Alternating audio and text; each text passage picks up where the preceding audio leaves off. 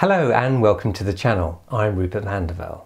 During the winter months, when the daylight hours are fewer and the light is not really conducive to my style of photography, I do less of it. Photo walks are generally done after dark under the sodium glare and neon lights of the streets. It's certainly time well spent for me and I really enjoy it. However, this time of year is also good for editing the year's pictures and deciding what I want to keep and print. Ever since starting out in photography in the 1980s, I have enjoyed the editing and printing part of it. Of course, in the days before digital, developing and printing was the only way you could see the fruits of your labour.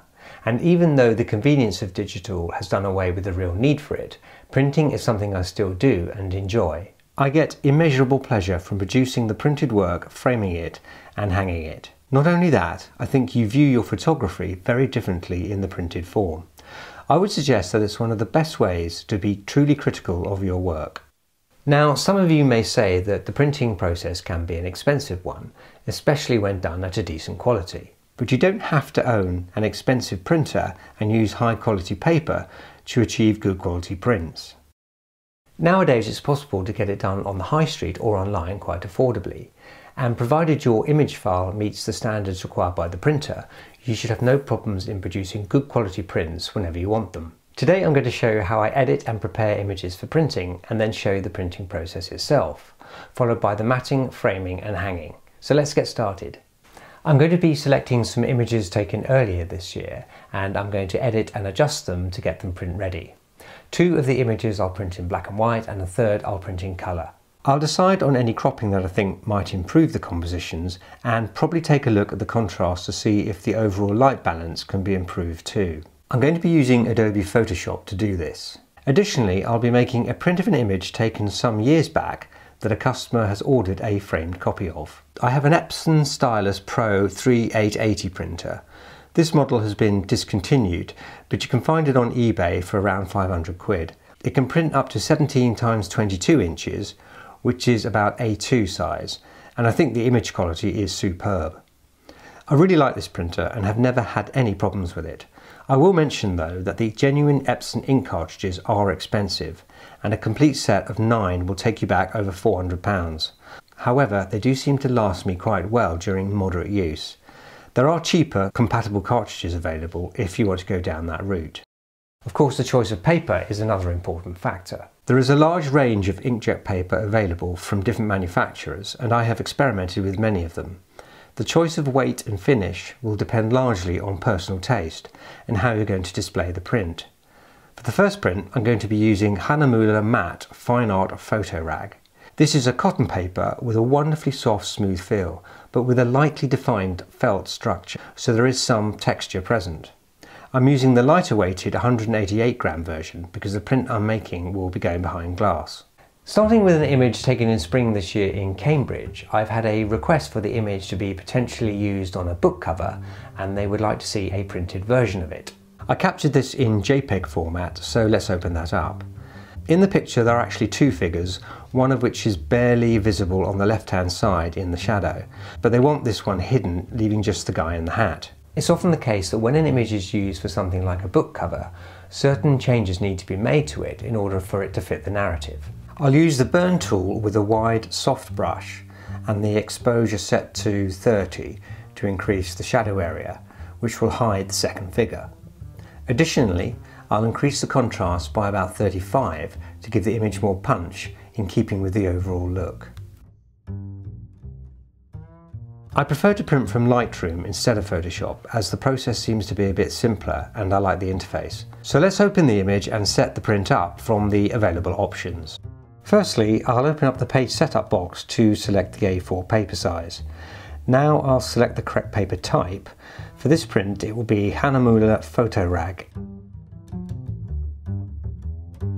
And the media type will be matte. Now I'll check the paper handling is set to A4 and the photo paper is set to enhanced matte paper and we're ready to print.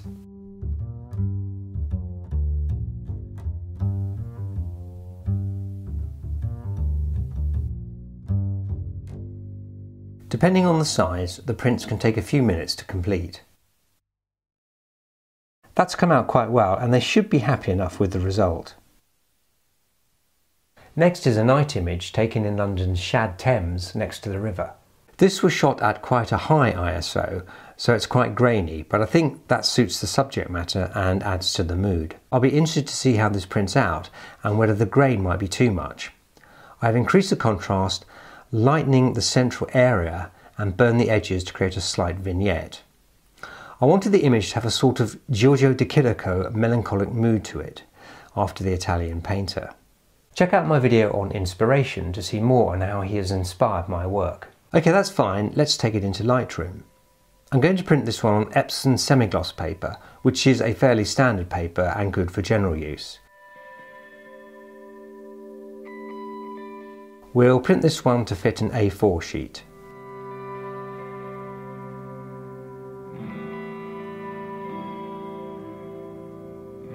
That looks good, the grain is fine and the shadow detail is too. Next up I'm going to do a colour print of an image taken in London last spring. This is my take on a Saul Leiter reflection style image. I actually prefer the image in black and white, but I thought it would be good to see a colour printed version of it. It required no cropping, just a little straightening. The contrast was increased, lightening the highlights, and the saturation was increased too, which added more richness to the colours. I'll set the levels to auto to apply the correct colour balance. I'll then adjust the contrast by increasing it by about 20. That seems about right. Finally, I'll increase the colour saturation level to around here, about 35 or so. That's given the image more richness, Here's the before and after. Adjustments such as this are often all you need to do to improve the overall clarity of an image.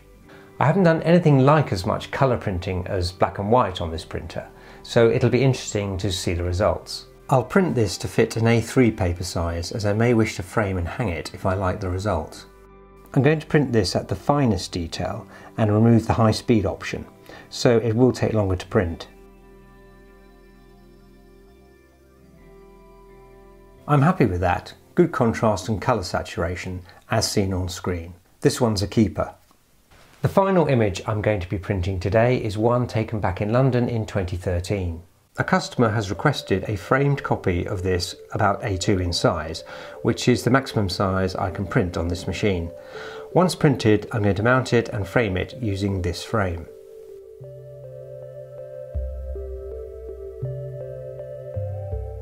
I'm pleased with how that's come out, deep blacks and strong highlights. I remember seeing this scene and was keen to use it, as I knew imminent building work was going to mean its destruction. I had to wait patiently for someone to walk past and then this lady arrived. For mounting, I'm using a ready-made mount that came with the frame for this print.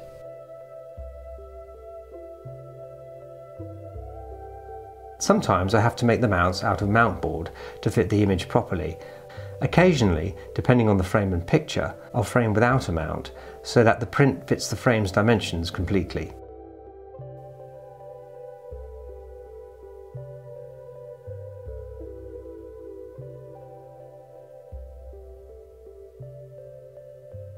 That done, the picture is ready for hanging. When hanging a picture, I try to choose a position where the light it will receive benefits the image. There are no two ways about it. Properly printed, framed and hung picture is the best way to show off your photography. Well, there we have my printing method, all fairly straightforward and easy enough to control. What we see on the screen is well represented in the printed version, which is obviously the main goal. I can't emphasise enough the importance of seeing your work in the properly printed form. For me, the real appreciation of a photograph cannot begin until you've been close up to the printed image it's a beautiful thing to behold, and I highly recommend it. Whether that means printing it yourself or using a recommended service to do it for you, you will not only look at your pictures in a different way, but you'll be taking another step towards better photography. Check out my book Fine Art Street Photography, which is available from the link below. Thanks very much for watching.